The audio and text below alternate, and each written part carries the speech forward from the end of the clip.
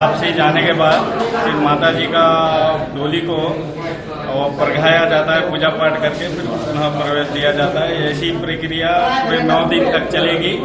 जो नौ मई जो अंतिम होगा, उसमें होलिका दहन होता है और उसके बाद होलिका होलिका दहन कार्यक्रम होने के बाद जो होली उत्सव मनाने के बाद देवी देवताओं का विदाई, ये पूरे दस दिन का कार्यक्रम होता है, दंतेवाड़ा मुंडई मिला।